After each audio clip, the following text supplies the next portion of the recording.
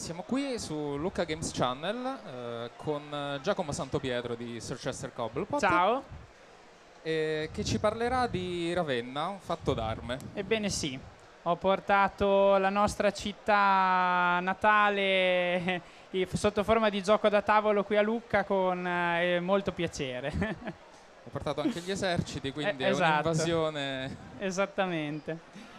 Eh, ma innanzitutto inizierei a parlarti del background storico che come gli amanti di Sir Chester Cobblepot sanno, eh, ovviamente il tema è per noi un elemento fondamentale nella creazione di un gioco da tavolo.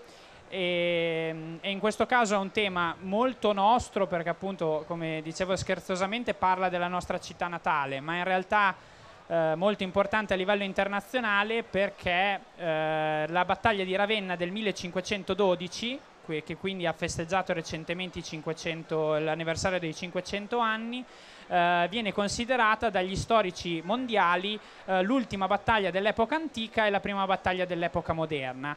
Eh, tutto questo in un'unica battaglia perché eh, la battaglia incomincia in un modo, con l'artiglieria schierata in un modo, e poi per un colpo a metà tra un colpo di genio e una pensata buttata lì eh, viene poi eh, rischierata e da lì vengono cambiati gli esiti della battaglia e viene completamente modificata quella che è la storia eh, di guerra di, del- della- di tutto il mondo. Ecco. Quindi una, una piccola battaglia, fra virgolette, anche se molto sanguinolenta, eh, che poi ha cambiato gli esiti della storia internazionale. Quindi un, un argomento tutt'altro che locale.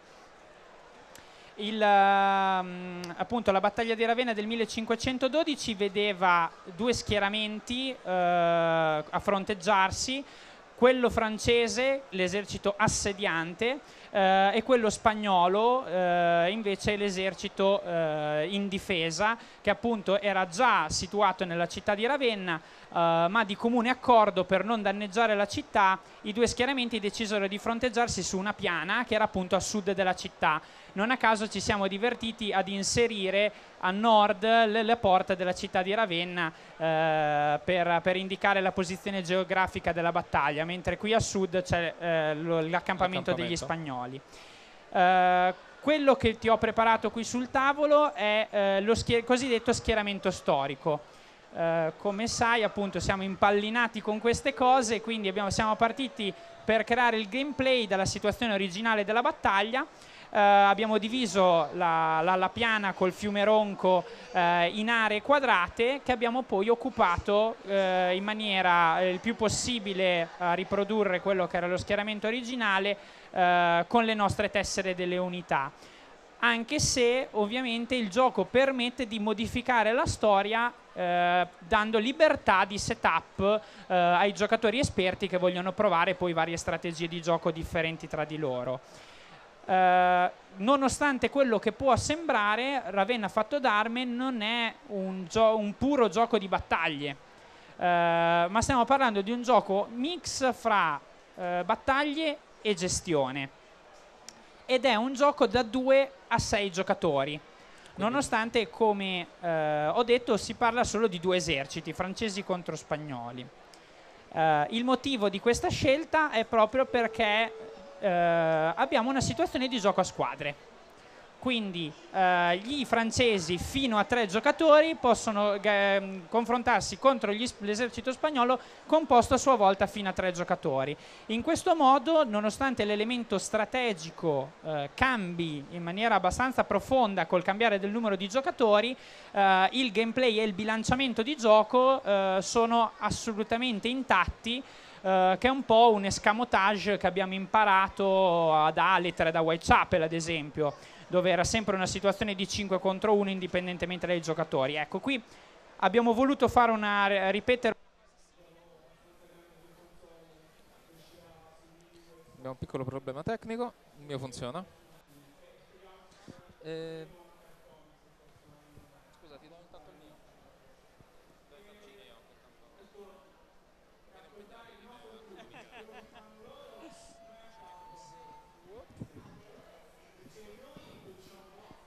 Prova, ecco, mi sentite? Eh, ecco, come, come stavo dicendo, meccanismo da 2 a 6 giocatori.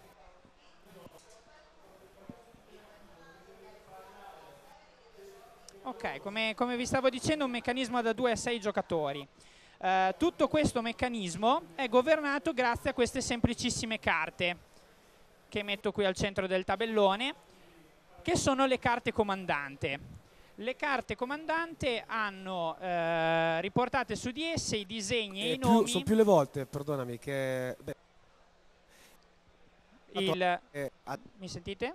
Agli okay. elementi narrativi della, dello sviluppo Abbiamo del game. un'interferenza.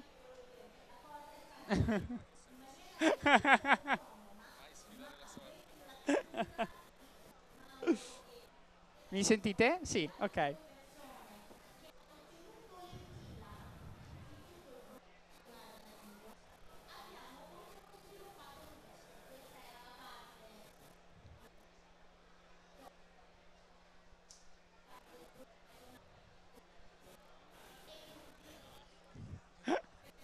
Si infila ovunque.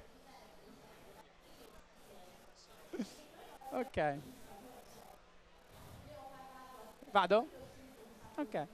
Uh, stavo dicendo, il meccanismo da 2 a 6 giocatori è governato da queste carte comandante che riportano i nomi e i disegni.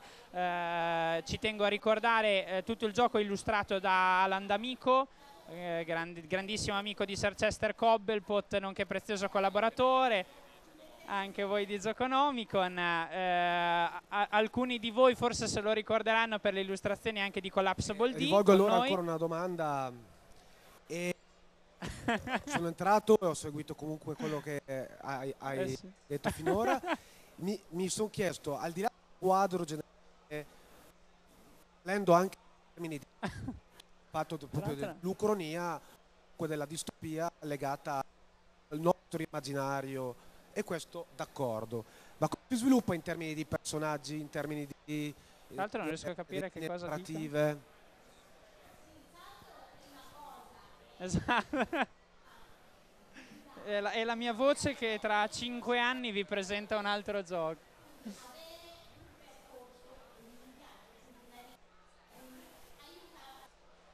Sì.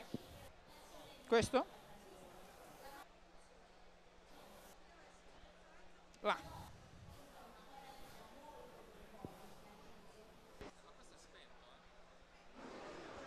Prova, prova.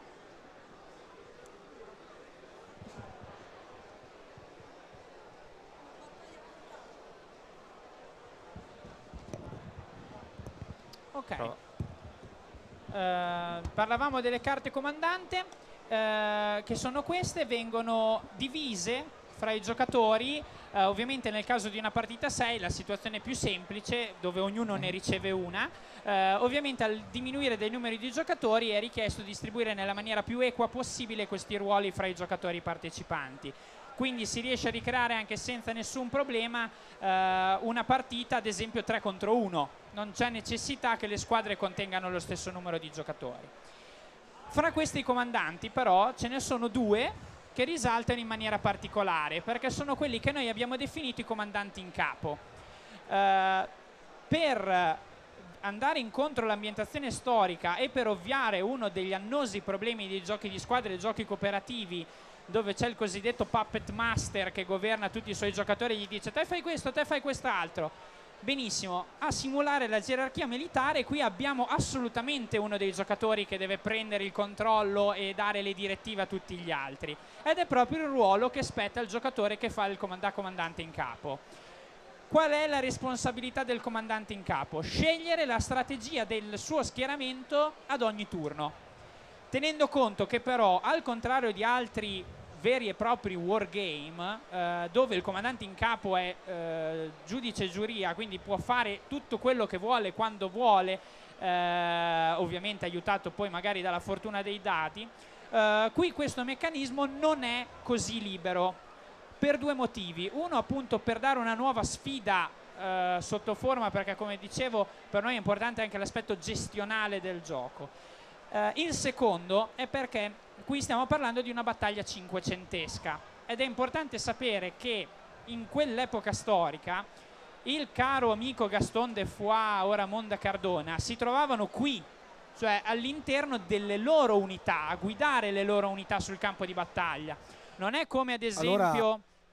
un gioco napoleonico dove i generali stavano sulla collina eh, e mandavano il messaggero con gli ordini a, a, recapitare dal punto di vista quindi del game, vedendo una, una situazione dall'alto in maniera eh, molto limpida. Da Qui stiamo parlando del, del game. di persone che avevano una visuale limitata perché erano nel mezzo della battaglia. Esattamente, erano già all'interno della battaglia. Di conseguenza tutto questo è simulato nel gioco in maniera molto semplice. Ci sono delle carte strategia. Quindi dal punto di vista del, del game che stabiliscono quali tipologie di ordine si possono eh, suddividere fra i tre comandanti del tuo schieramento. Eh, queste carte sono a scelta, ogni turno il comandante in capo ne ha a disposizione due, fra cui può de decidere qual è secondo lui la mossa migliore, eh, e prendere sempre dal mazzo i rispettivi ordini che hanno ovviamente effetti diversi nella meccanica di gioco. Uh, nel caso di questo, della scelta di questa carta strategia, praticamente stiamo andando a dire che Gaston de Foix decide che due dei suoi comandanti andranno a manovrare le loro unità, quindi a muovere le tessere sul campo di battaglia. e uh, invece una, uh, uno dei comandanti dirà alle sue unità di attendere, di aspettare e vedere che cosa succede. Anche qui abbiamo preso spunto dalla storia per creare una regola molto interessante. Ovvero, Gaston, il giocatore che interpreta Gaston de Foix può dire benissimo Federico Gonzaga tu muovi, io muovo e tu Duca Alfonso d'Este rimani fermo.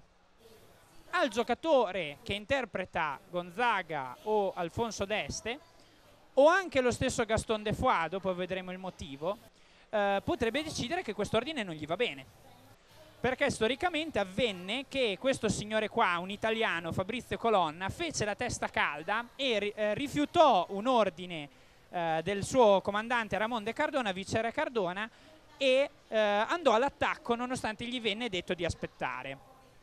Questo è simulato nel gioco con il rifiuto di un ordine. Un giocatore può dire no, io non faccio questo, faccio un'altra cosa. In tal caso si prende l'onere di disubbidire che ovviamente comporta una cosa negativa per la sua squadra, perché ovviamente la, la, morale della truppa inizia a calare nel momento in cui si vede delle contrapposizioni, esatto, molto forti interne, ma si può prendere gli onori qualora la sua decisione tattica sia corretta e porta un beneficio poi nella battaglia.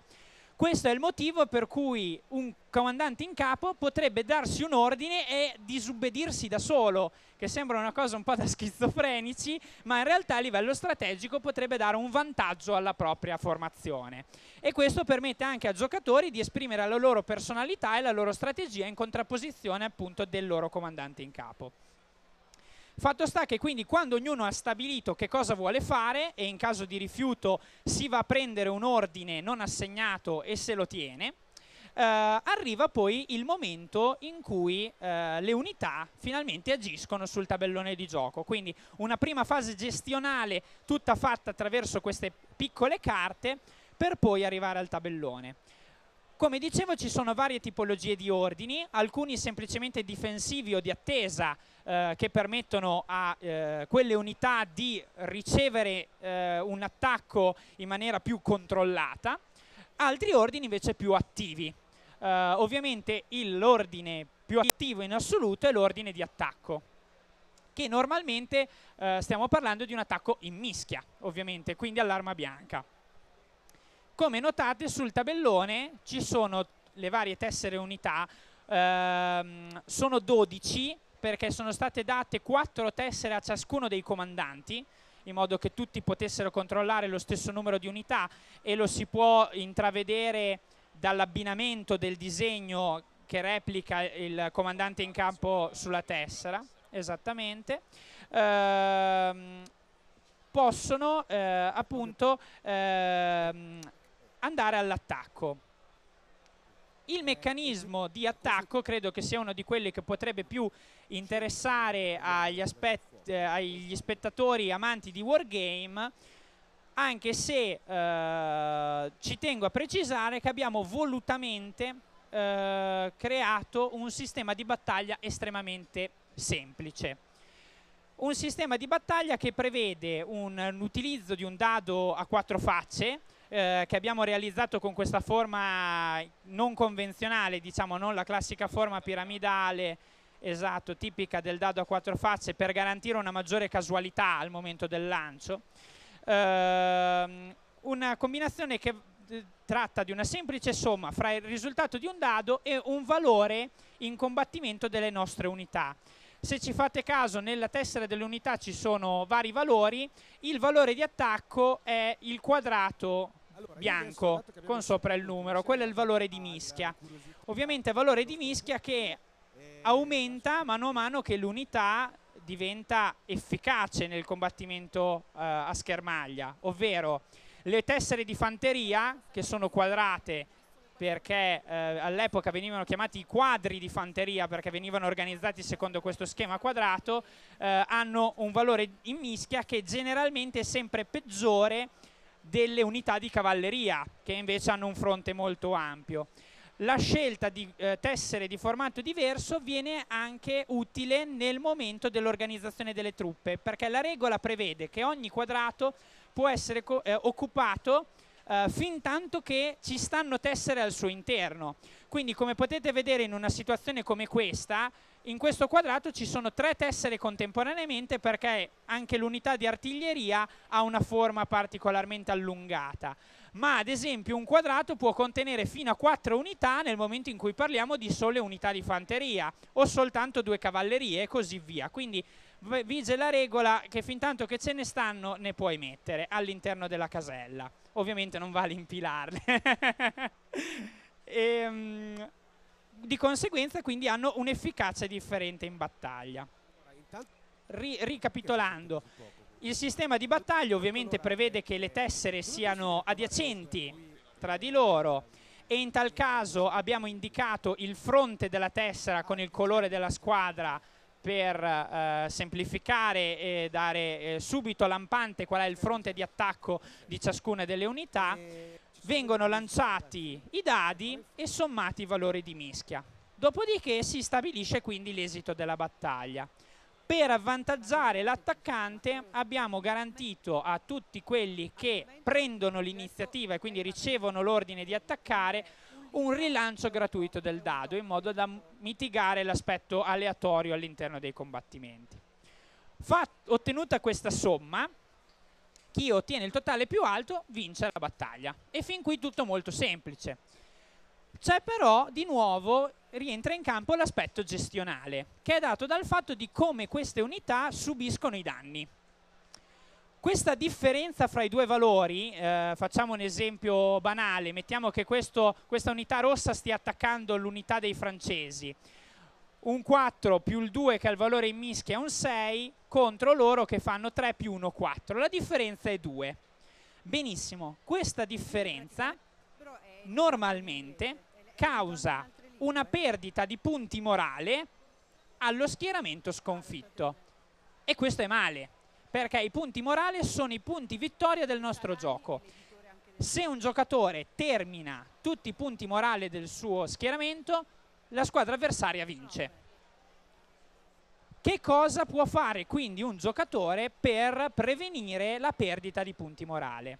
Può decidere di autoinfliggersi delle penalità di combattimento per fare in modo che questi punti non vengano persi.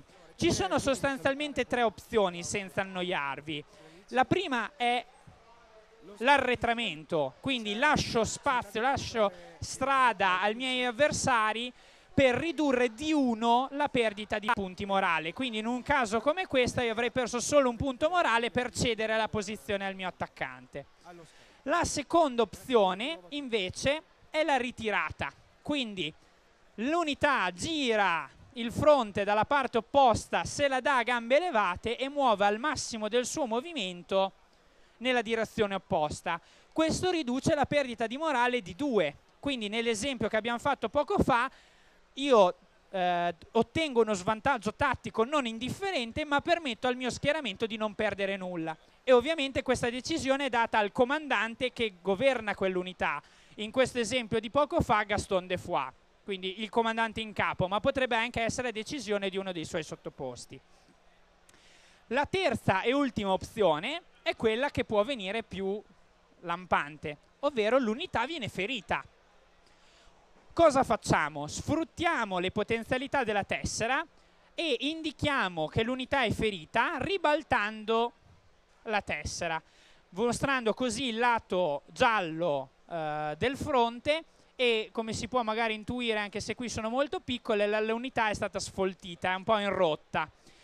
Eh, questo permette alla squadra di eh, ammortizzare una perdita di punti morale pari al valore di difesa dell'unità rappresentato dal triangolo bianco rovesciato. Di conseguenza in questo gioco si utilizza sempre e solo il valore di attacco nei confronti, ma il valore di difesa è molto importante perché permette, nel caso in cui il combattimento sia andato male, di ridurre la perdita ferendo un'unità. Ovviamente ferire un'unità già ferita comporta l'eliminazione della tessera dal tabellone. Un'unità ferita può comunque eseguire normalmente tutti gli ordini come un'unità normale, la differenza è che ovviamente sarà penalizzata nel momento degli scontri perché tutte le volte che per quell'unità sarà necessario lanciare il dado, alla somma del dado dovrà sottrarre uno.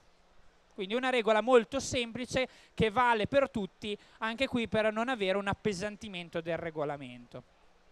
Ovviamente poi abbiamo situazioni di attacco ai lati, attacco alle spalle, ma anche qui tutto questo è regolato in maniera molto semplice con dei modificatori al lancio di dado.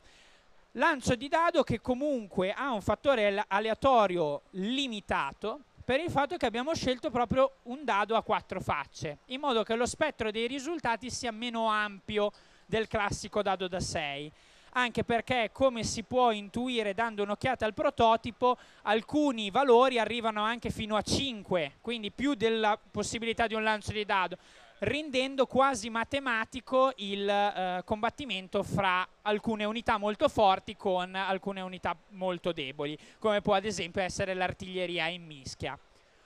Ovviamente prima dicevo che è una battaglia importantissima perché i cannoni sono stati utilizzati in maniera innovativa, di conseguenza non poteva mancare il combattimento a distanza che anche se non è governato da un ordine specifico, a ogni turno permette alle unità di artiglieria e quelle poche unità di fanteria che possono sparare come i balestrieri, gli archibuggeri o unità di questa tipologia qui, eh, di attaccare a distanza.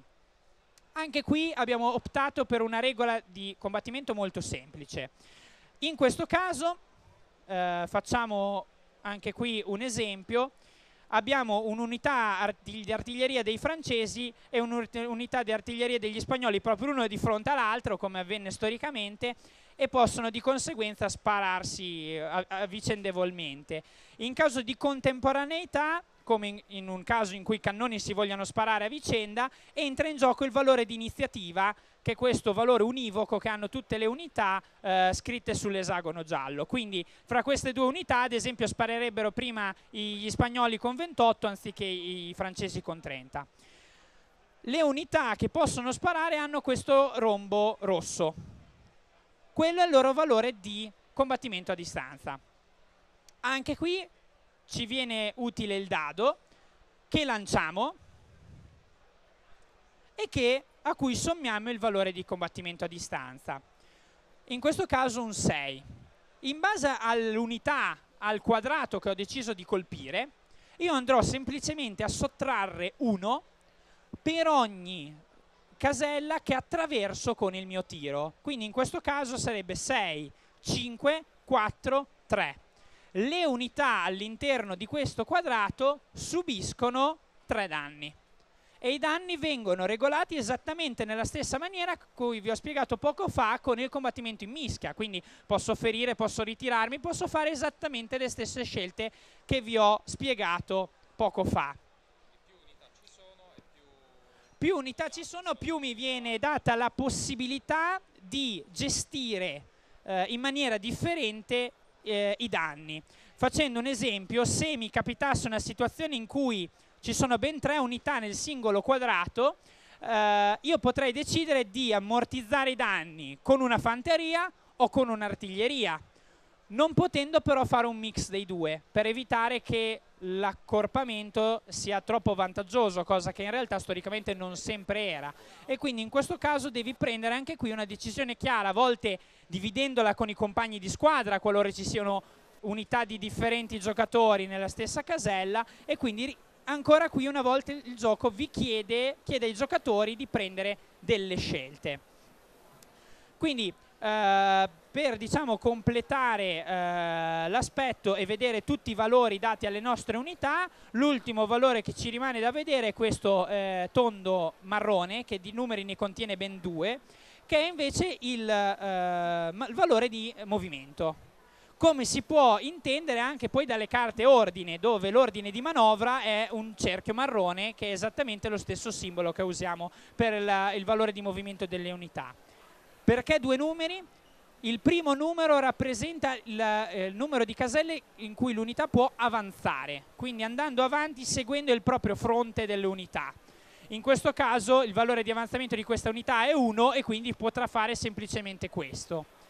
Il secondo valore invece è il valore di rotazione, ovvero quante volte questa unità può girare di 90 gradi su se stessa.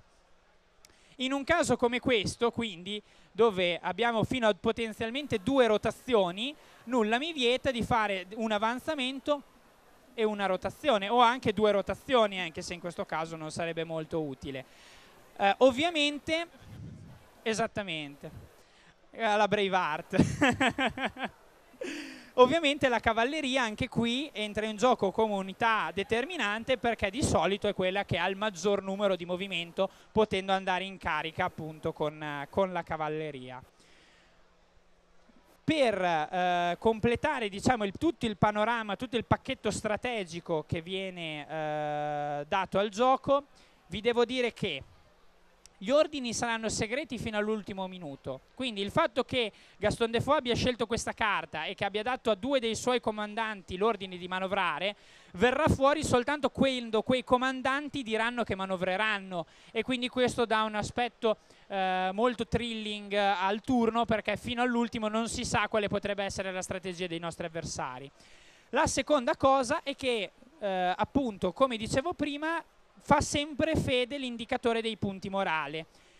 E non solo con il combattimento si perdono, come accennavo all'inizio, rifiutando ordini per modificare la propria strategia in corsa si perdono punti morale, così come si possono guadagnare punti morale eliminando tessere delle unità che contengono una personalità per indicare questo in termini di gioco, per indicare che ci fosse un nobile di prestigio all'interno di quell'unità, abbiamo utilizzato questo simbolo dell'elmo.